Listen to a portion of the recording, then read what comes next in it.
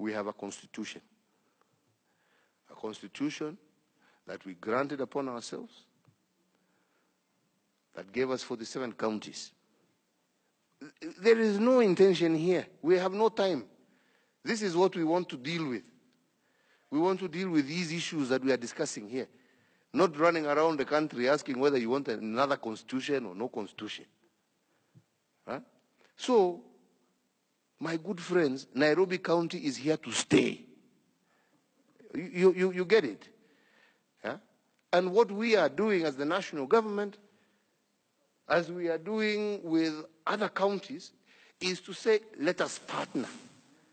We've had a very good meeting recently on how to handle roads. All right? And we shall handle them, national government, county government, together. Yeah? But the solution is not to say, oh, now let's go run around, start. You deal with what you have, friends. Yeah? Sijui kama tunaelewana. Yes?